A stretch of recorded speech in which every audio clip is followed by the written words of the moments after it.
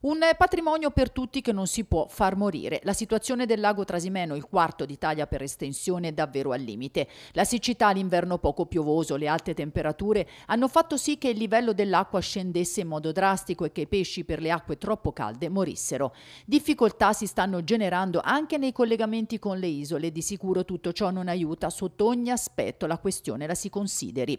La situazione ha portato la Presidente della Regione Tesei a chiedere un commissario che possa prendere prendersi cura H24 della questione. Serve, dice Tesei, un commissario che può non solo disporre interventi emergenziali, ma anche contare su una dotazione di fondi straordinari che possano garantire un'immediata soluzione e ripristinare una normale situazione di sostenibilità ambientale e sociale.